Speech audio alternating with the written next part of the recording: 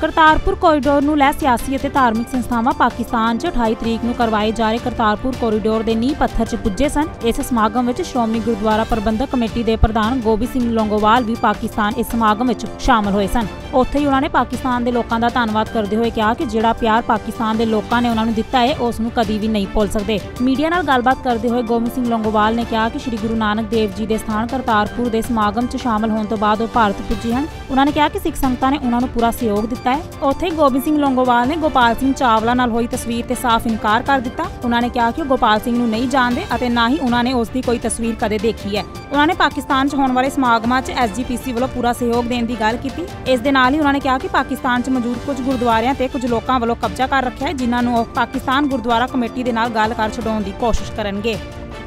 ਸ੍ਰੀ ਗੁਰੂ ਨਾਨਕ ਦੇਵ ਸਾਹਿਬ ਦੀ ਬਹੁਤ ਬੜੀ ਅਪਾਰ ਕਿਰਪਾ ਹੋਈ ਹੈ। ਤੋਂ ਬਹੁਤ ਹੀ ਮੈਂ ਆਪਣੇ ਆਪ ਨੂੰ ਭਾਗੀਸ਼ਾਲਾ ਸਮਝਦਾ, ਬਹੁਤ ਹੀ ਖੁਸ਼ੀ ਮਹਿਸੂਸ ਕਰ ਰਿਹਾ ਕਿ ਸ੍ਰੀ ਕਰਤਾਰਪੁਰ ਸਾਹਿਬ ਦੀ ਉਹ ਪਾਵਨ ਧਰਤੀ,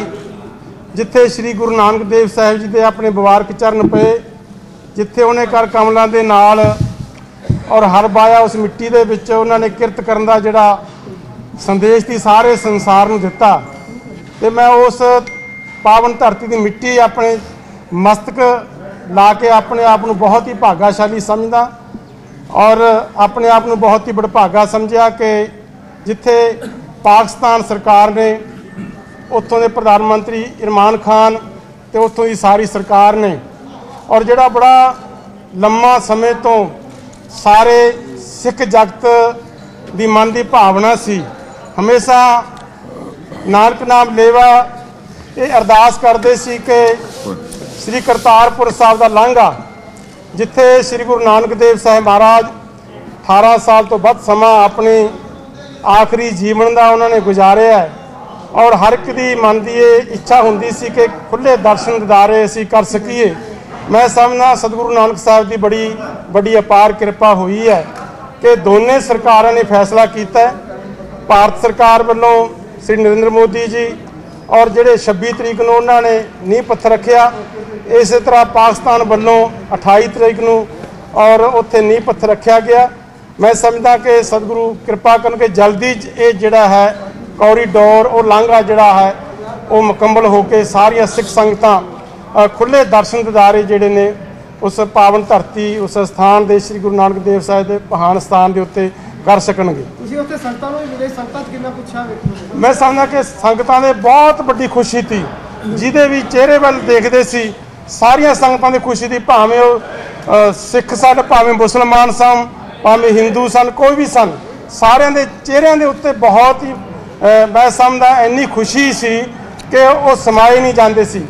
ਦੇਖੋ ਅਸੀਂ ਕਾਫੀ ਉੱਥੋਂ ਦੇ ਜਿਹੜੇ ਪ੍ਰਧਾਨ ਦੇ ਨਾਲ ਵੀ ਸਾਡੀ ਮੀਟਿੰਗ ਹੋਈ ਹੈ ਕੱਲ ਅਸੀਂ ਜਿਹੜਾ ਕਾਫ ਕਾਫ ਬੋਰਡ ਜਿਹੜਾ ਬਣਿਆ ਹੋਇਆ ਹੈ ਉਹ ਲਾਹੌਰ ਦੇ ਵਿੱਚ ਉੱਥੇ ਅਸੀਂ ਮੀਟਿੰਗ ਕੀਤੀ। ਜਿਸ ਮੀਟਿੰਗ ਦੇ ਵਿੱਚ ਸਰਦਾਰ ਤਾਰਾ ਸਿੰਘ ਜੋ ਪਾਕਿਸਤਾਨ ਗੁਰਦੁਆਰਾ ਪ੍ਰਬੰਧਕ ਕਮੇਟੀ ਦੇ ਪ੍ਰਧਾਨ ਨੇ ਸਰਦਾਰ ਬਿਸ਼ਨ ਸਿੰਘ ਜੀ ਜੋ ਸਾਬਕਾ ਪ੍ਰਧਾਨ ਔਰ ਕਾਫ ਬੋਰਡ ਦੇ ਜਿਹੜੇ ਸੈਕਟਰੀ ਸਨ ਤਾਰਕ ਵਜੀਦ ਖਾਨ ਔਰ ਉਹ ਵੀ ਉੱਥੇ ਸ਼ਾਮਲ ਸੀ। ਉਹਨਾਂ ਦੇ ਦਫ਼ਤਰ ਵਿੱਚ ਸਾਰੀ ਸਾਡੀ ਬੜੀ ਡਿਟੇਲ ਦੇ ਨਾਲ ਮੀਟਿੰਗ ਜਿਹੜੀ ਹੋਈ ਹੈ ਉੱਥੋਂ ਦੇ ਗੁਰਦੁਆਰਿਆਂ ਬਾਰੇ ਵੀ ਡਿਟੇਲ 'ਚ ਗੱਲ ਕੀਤੀ ਗਈ ਹੈ। ਔਰ ਸ੍ਰੀ ਗੁਰੂ ਨਾਨਕ ਦੇਵ ਸਾਹਿਬ ਜੀ ਦੇ 550 ਸਾਲਾ ਪ੍ਰਕਾਸ਼ ਪੁਰਬ ਨੂੰ ਮਨਾਉਣ ਸੰਬੰਧੀ ਵੀ ਸਾਰੇ ਵਿਸਤਾਰ ਦੇ ਵਿੱਚ ਸਾਰੀਆਂ ਉੱਥੇ ਗੱਲਾਂ ਕੀਤੀਆਂ ਨੇ ਕਿ ਕਿਸ ਤਰ੍ਹਾਂ ਮਨਾਇਆ ਜਾਵੇ, ਕਿਉਂਕਿ 3 ਮਹੀਨੇ ਸਾਰਿਆਂ ਨੇ ਇਹ ਫੈਸਲਾ ਕੀਤਾ, ਲਗਾਤਾਰ 3 ਮਹੀਨੇ ਅਗਲੇ ਸਾਲ ਜਦੋਂ ਪ੍ਰਗਟ ਗੁਰਪੁਰਬ ਹੋਵੇਗਾ ਔਰ ਉੱਥੇ ਲਗਾਤਾਰ 3 ਮਹੀਨੇ ਸਾਰੇ ਪ੍ਰੋਗਰਾਮ ਜਿਹੜੇ ਨੇ ਉਹ ਚੱਲਣਗੇ। ਸ਼੍ਰੋਮਣੀ ਗੁਰਦੁਆਰਾ ਪ੍ਰਬੰਧਕ ਕਮੇਟੀ ਸਾਰਾ ਉੱਥੇ ਜਿੰਨੇ ਵੀ ਉਹ ਸੇਵਾ ਲਾਉਣਗੇ, ਉਹ ਟੈਂਟ ਟੈਂਟ ਸਿਟੀ ਬਣਾਈ ਜਾਊ ਔਰ ਉੱਥੇ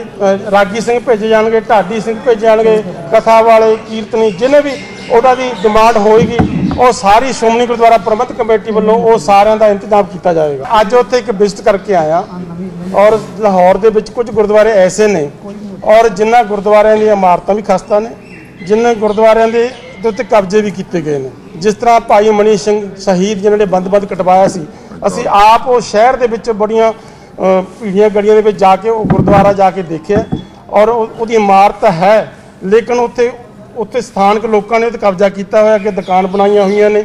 ਤੇ ਉਹ ਵੀ ਗੱਲ ਕੀਤੀ ਹੈ, ਭਾਈ ਤਾਰੂ ਸਿੰਘ ਜਿਨ੍ਹਾਂ ਦੀ ਖੋਪੜੀ ਲਾਈ ਗਈ ਸੀ, ਉਹਨਾਂ ਦਾ ਵੀ ਸਥਾਨ ਵੀ ਹੈ, ਉੱਥੇ ਵੀ ਕੁਝ ਕਬਜ਼ੇ ਹੋਏ ਨੇ। ਸੋ ਸਾਰੀ ਨਿਸ਼ਾਨਦੇਹੀ ਅਸੀਂ ਕਰਕੇ ਆਉਣ ਵਾਲੇ ਸਮੇਂ ਦੇ ਵਿੱਚ ਮੈਂ 13 ਤਰੀਕ ਨੂੰ ਫੇਰ ਪਾਕਿਸਤਾਨ ਅਸੀਂ ਜਾਣਾ ਹੈਗਾ ਦੁਬਾਰਾ। ਉੱਥੋਂ ਦੀ ਅਗਲੇ ਮਹੀਨੇ ਉੱਥੋਂ ਦੀ ਸਰਕਾਰ ਦੇ ਨਾਲ ਅਸੀਂ ਟਾਈਮ ਲੈ ਕੇ ਜਨਵਰੀ ਦੇ ਵਿੱਚ ਉੱਥੋਂ ਦੇ ਜਿਹੜਾ ਹੈਗਾ ਮੁੱਖ ਮੰਤਰੀ ਪੰਜਾਬ ਦਾ ਗਵਰਨਰ ਔਰ ਅਸੀਂ ਪ੍ਰਾਈਮ ਮਿਨਿਸਟਰ ਨਾਲ ਵੀ ਕੋਸ਼ਿਸ਼ ਕਰਾਂਗੇ ਮਿਲਣ ਦੀ ਕਿ ਉੱਥੇ ਜਾ ਕੇ ਇਹ ਸਾਰੇ ਗੁਰਦੁਆਰੇ ਜਿਹੜੇ ਬਹੁਤ, ਮੈਂ ਇਤਿਹਾਸਕ ਗੁਰਦੁਆਰੇ ਨੇ ਜਿਨ੍ਹਾਂ ਦੇ ਅੱਜ ਕੁਝ ਲੋਕਾਂ ਨੇ ਸਥਾਨ ਕਬਜ਼ੇ ਕੀਤੇ ਹੋਏ ਨੇ, ਉਹ ਵੀ ਖਾਲੀ ਕਰਾਉਣ ਦੀ ਅਸੀਂ ਪੂਰੀ ਕੋਸ਼ਿਸ਼ ਕਰਾਂਗੇ। ਕਿਉਂਕਿ ਅਸੀਂ ਚਾਹਾਂਗੇ 550 ਸਾਲ ਤੋਂ ਪਹਿਲਾਂ ਪਹਿਲਾਂ ਸਾਰੀ ਇਹ ਗੁਰੂ ਘਰਾਂ ਦੀ ਜਿਹੜੀ ਹੈ ਔਰ ਖਾਲੀ ਕਰਾਈ ਜਾਵੇ। ਬਿਊਰੋ ਰਿਪੋਰਟ ਦਾ ਟੀਵੀ, ਐਨ ਆਰ ਆਈ।